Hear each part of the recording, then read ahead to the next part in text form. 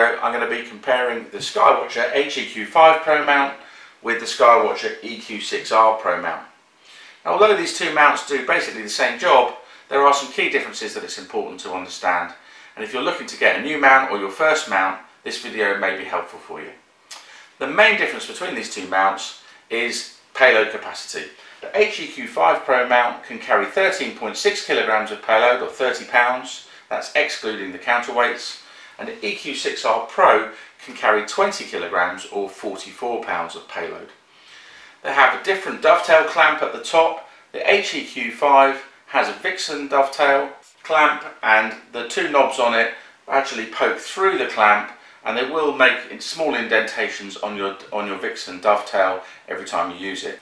The EQ6R Pro has a Vixen and Losmandy compatible clamp and it's a true clamp so it actually moves a plate so that there's no indentation or marking of your dovetail. The knobs on the clamp are also significantly larger than they are on the HEQ5.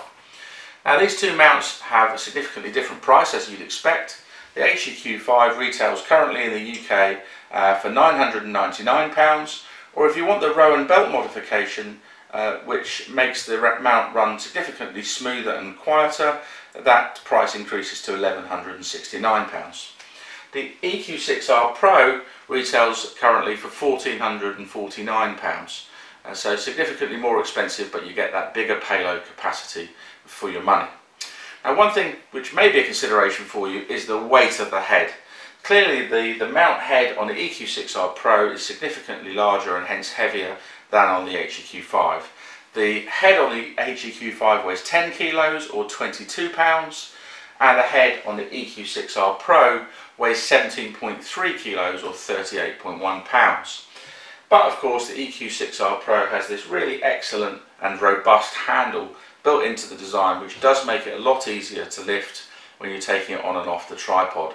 That does uh, serve to effectively narrow the gap a bit but if you have a bad back and the weight is a problem for you then uh, clearly make your, your decision based on that information.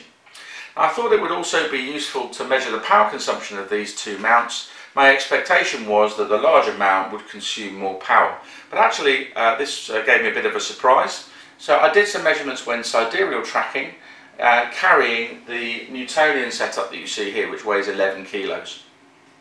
And I found that the HEQ5 drew 9.4 watts from the supply, uh, and the uh, EQ6R Pro only drew 7.4 watts so it's actually a lower power consumption than the smaller mount so that was interesting. I also thought I would measure at the same time the peak current drawn by each of these two mounts which is useful when you're working out the current rating you need on your 12 volt supply in your setup. The HEQ5 when slewing at rate 9 on both DEC and RA at the same time with this 11 kilogram payload draws 1.14 amps from the 12 volt supply.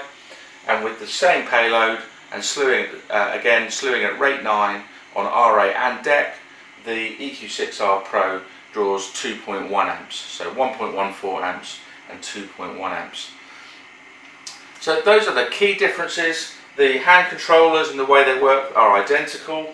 Uh, the azimuth and altitude bolts are significantly larger, the whole mechanism significantly larger on the EQ6R Pro because it's carrying that heavier weight.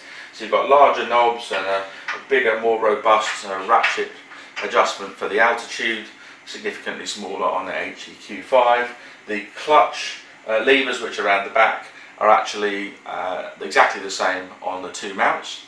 The counterweight bar uh, has an extension piece on it on the EQ6R Pro, so if you prefer to have fewer counterweights and put them further down the bar rather than having more counterweights higher up the bar, you've got that choice. If you're carrying a lighter payload like this, and you need two counterweights. Uh, you actually don't need the extension on there at all and you can just remove it. So those are the key differences between these two mounts. Hopefully that's going to be helpful for you in making your decisions.